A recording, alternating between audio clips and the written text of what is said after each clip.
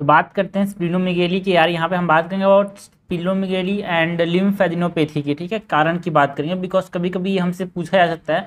पूछा जाता है कि लॉन्ग क्वेश्चन में कजेस ऑफ़ स्प्लिनोमिगेली बताओ और जो कजेस है उसको एक डिसीज को एक्सप्लेन कर दो, ऐसा क्वेश्चन पूछा जाता है। एंड प्रैक्टिकल में भी तो पूछा ही जाता है। तो स्प्लिनोमिगेली की बात करें तो अगर हम बात करें कि माइल्ड स्प्लिनोमिगेली के कौन कौन से कजेस हैं मॉडरेट स्प्लिनोमिगेली के कौन कौन से कजेस हैं एंड सीवियर स्प्लिनोमिगेली के कौन कौन से कजेस हैं?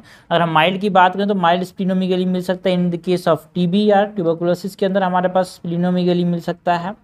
सिफिलिस के अंदर यहाँ पे स्प्लिनोमिगेली मिल सकता है माइल्ड एंड एचआईवी के अंदर मलेरिया ना काला आजर में और क्या सिस्टमिक ल्यूपस एथमेटोसिस में भी माइल्ड स्प्लिनोमिगेली मिल सकता है। और हम बात करें मॉडरेट स्प्लिनोमिगेली की तो ये कब देखने को मिल सकता है? In the case of liver cirrhosis liver cirrhosis में स्प्लिनोमिगेली मिल सकता है है ना? पॉलिसाइथीमिया वेरा के अंदर हम बात कर सकते हैं तो वहाँ पे हमारे पास स्प्लिनोमिगेली मिल सकता है।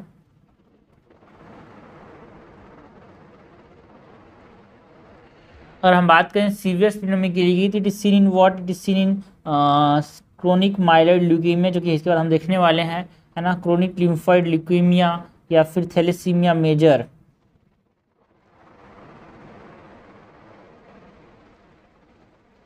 ओके तो ये हमने देखा about the cause of splenomegaly mild moderate and severe important है यार, ठीक है? ना अगर हम बात करें लिम्फेडिनोपैथी की तो लिम्फेडिनोपैथी कारण की बात करें तो लिम्फेडिनोपैथी हमारे पास किस किस केसेस में देखने को मिल सकता है? इन केस ऑफ़ इन्फेक्शन यार, जहाँ पे हम बात कर सकते हैं about the disseminated TB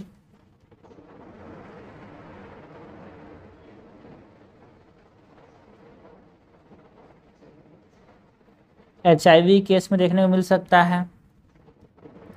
infectious mononucleosis में।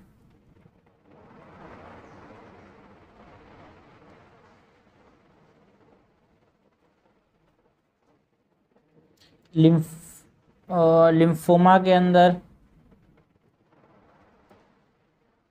ना क्रोनिक लिम्फॉइड ल्यूकीमिया के अंदर C L L in black और C L in blast crisis यार। इसके अंदर भी हमारे पास ये मिल सकता है। ना, क्या लिम्फेडिनोपैथी ओके मैलिग्नेंसिस में भी हमारे पास लिम्फेडिनोपैथी मिल सकता है।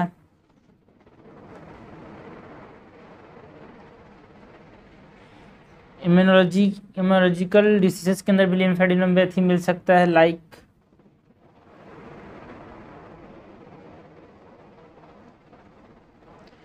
S L E systemic lupus erythematosus Sjogren syndrome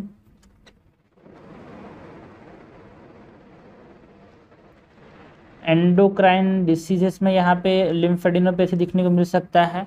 for example hyperthyroidism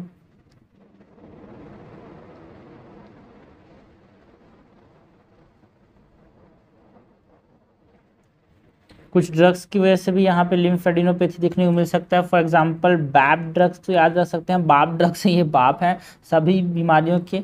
तो इनमें हमारे पास क्या देखने को मिल सकता है? कौन कौन से ड्रग्स जो हैं वो लिम्फेडिनोपैथी कर सकते हैं भाई? बीटा ब्लॉकर्स एलोप्यूरिनॉल एंड यहाँ पे हम बात कर सकते हो फेनीटॉइन